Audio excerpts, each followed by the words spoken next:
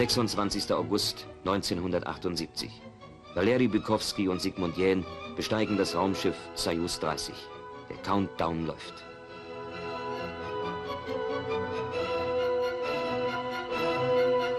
...15.51 Uhr mitteleuropäischer Zeit.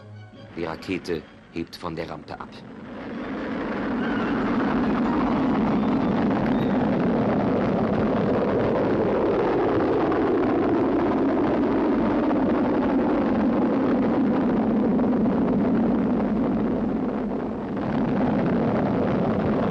27. August 1978, 17.38 Uhr mitteleuropäischer Zeit. Der Kuss im Kosmos ist geglückt. Mehr als 1300 Mal haben es die beiden Himmelsbrüder auf der Erde geübt. 52 Abweichungen vom Normalen mussten sie dabei meistern.